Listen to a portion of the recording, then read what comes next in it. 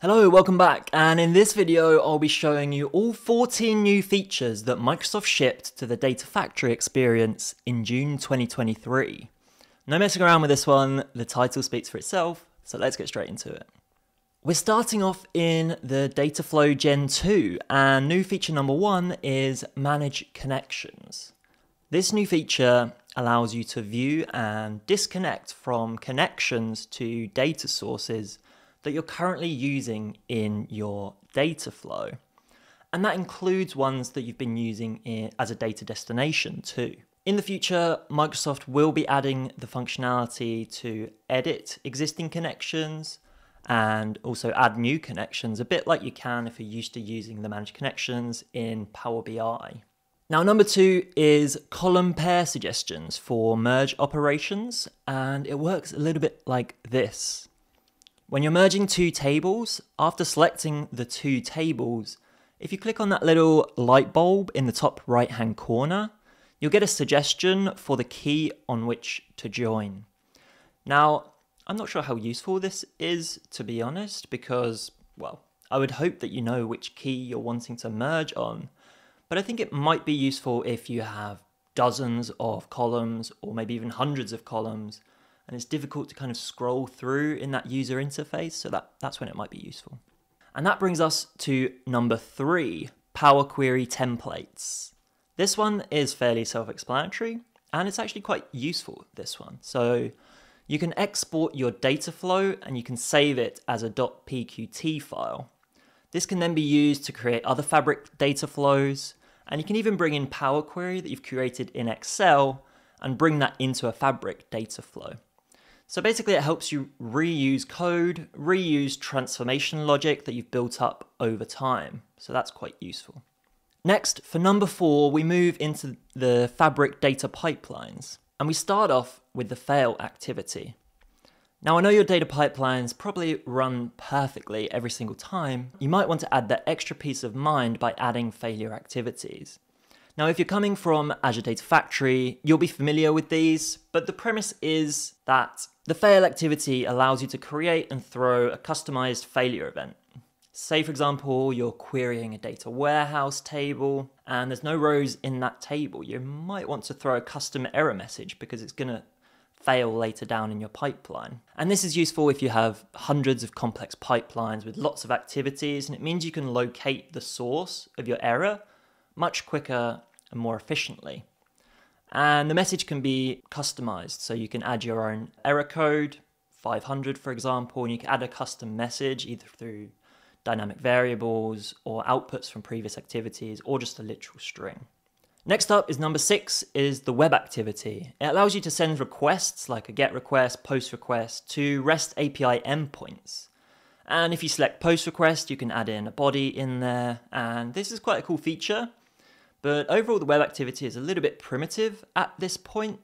So if you're making basic API requests, then it's going to be absolutely fine. But if you want to do more complicated logic when you're querying that REST API, like OAuth 2 authentication or maybe pagination logic, then you're going to need to do that probably in a data engineering notebook for now, probably using something like the requests library.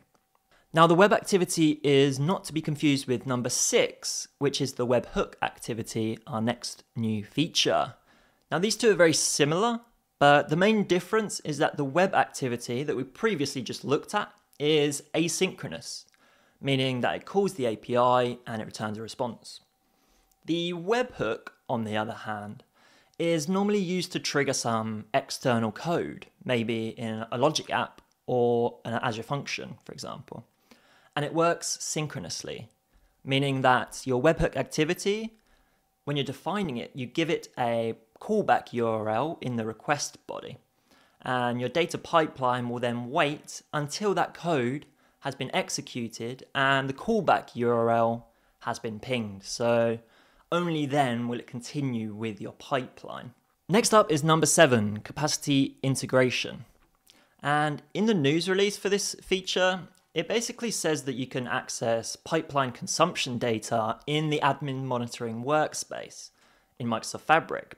But in my workspace, the admin monitoring workspace is completely empty. And even though I'm actually the tenant admin in this workspace, in this tenant. So I investigated this a bit, and it seems like this problem is common for lots of people. So I guess it's still to come, this feature. And if you know how to solve this, then maybe I'm doing something wrong and let me know in the comments. Then we have number eight, soft deletion. And if one of your colleagues is a bit trigger happy with the delete button and they delete your entire workspace, then fear not, as data pipelines will be soft deleted. That means you can restore everything in the deleted workspace for up to 30 days by simply going to your admin portal finding your deleted workspace and then clicking on restore. Okay, so the last six features are all relatively minor, so we'll rattle through them quite quickly. Number nine is improved error messaging when your pipeline activity fails. Now, this includes both when activities fail and when your overall pipeline fails. And you can view a history of these pipeline runs, obviously, in your monitoring hub. Number 10 is detecting the file format when setting up a copy data activity from a file, in case you didn't know that already, I guess.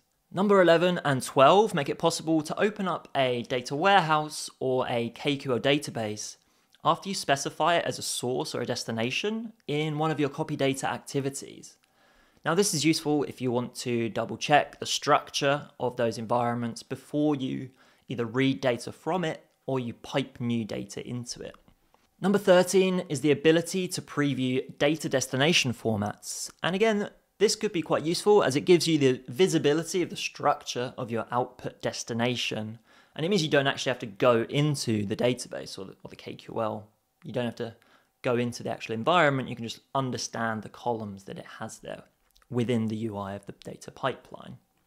Now, number 14 is support for type conversion when staging your data pipeline output, write function. And those are the 14 new features in Data Factory released into the wild in June 2023.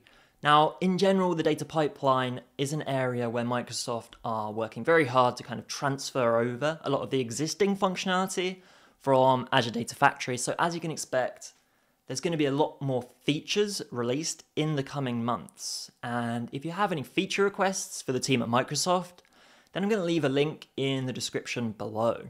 And whilst you're down there, why not give this video a like and leave a comment?